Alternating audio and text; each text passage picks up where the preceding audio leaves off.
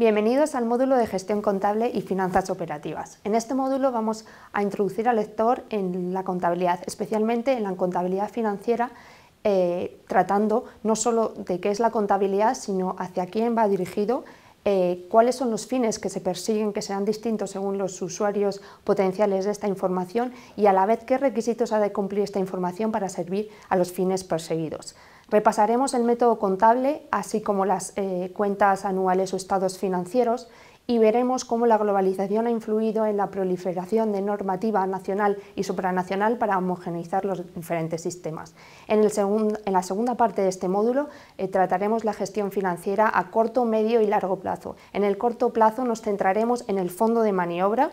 y lo importante que esto resulta para ciertas empresas y en el largo plazo vamos a fijarnos especialmente en las fuentes de financiación a largo plazo, esto es, en el pasivo a largo plazo y en el patrimonio neutro o recursos propios de una empresa.